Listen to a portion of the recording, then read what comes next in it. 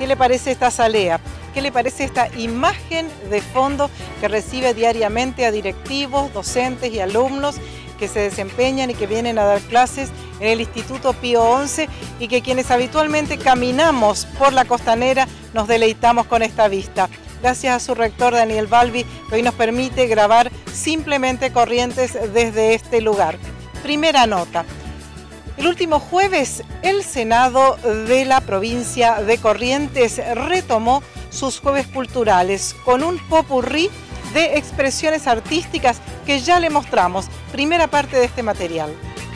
Casa vive nuevamente cultural y artísticamente, ese es el lema. Todo el mundo preguntaba por qué la casa vive y porque todo este tiempo que estuvo eh, en restauración, por lo menos durante esta primera etapa que, lleva este proyecto, es una restauración histórica después de tanto tiempo. Eh, nosotros ya quisimos dar la apertura para que comencemos a, darle vida cultural como en todo este tiempo. Eh, primero del ciclo del Senado también es cultura, acostumbramos a la ciudadanía.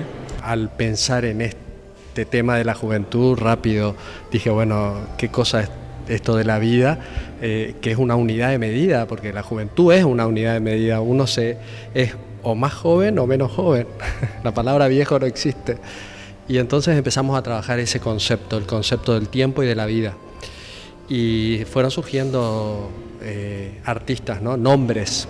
Es así como aparece eh, Jessica Moreno, que, que, habla de la muerte. Es así como aparece Wally Sandres, que habla de, de la emoción. Y, y también Guadalupe Morlio, que, con sus pinturas eh, retrata lo que es eh, la personalidad del ser humano, digamos. Y, eso me, cerraba como una muestra más que interesante, tocando paradigmas de, de esto que llamamos vida.